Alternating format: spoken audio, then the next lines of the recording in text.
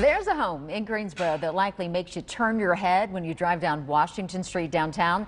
It's been there since 1795. It is truly a historic home and museum in our community. Fox 8's Katie Nordeen gives us a tour of the Blandwood Museum and tells us about a special exhibit you can see right now.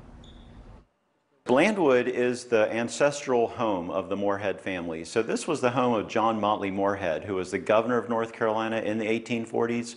Um, he really operated on a platform of education, transportation, and business, um, which are still important to us even today. This home represents life in North Carolina in the 19th century for one of the state's most influential families. Whether it's Morehead City or Morehead Avenue in Charlotte or Durham or Morehead uh, Planetarium at Chapel Hill, uh, the Morehead family had a great deal of influence on the sh shaping North Carolina through history. The Blandwood Mansion is full of furniture and art that prove Morehead's taste was progressive. The furniture that's inside is a blend of North Carolina furniture, but also New York furniture and Philadelphia furniture. The architect of the building was A.J. Davis, who was a New York architect, and even on the art on the walls uh, was inspired by a Hudson River painter in New York State. Right now, this National Historic Landmark is celebrating the architecture and furniture of Thomas Day. Thomas Day was a free man of color who really operated the largest furniture manufacturing business in the state of North Carolina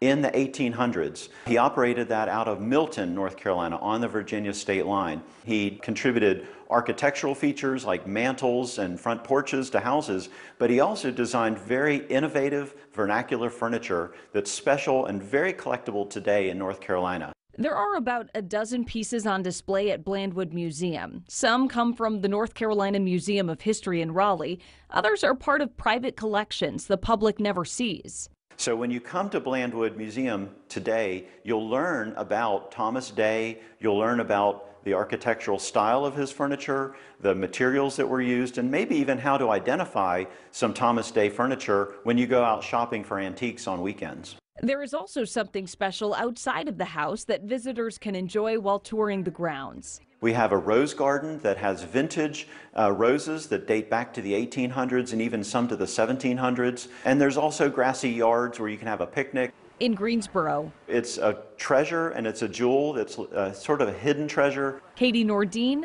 Fox 8 News. And there's also the Blandwood Carriage House with a garden pavilion that you can even rent for a special event. The Blandwood Museum is open Tuesdays through Saturdays from 11 to 4 and then on Sundays between 2 and 5. Admission to visit is $8.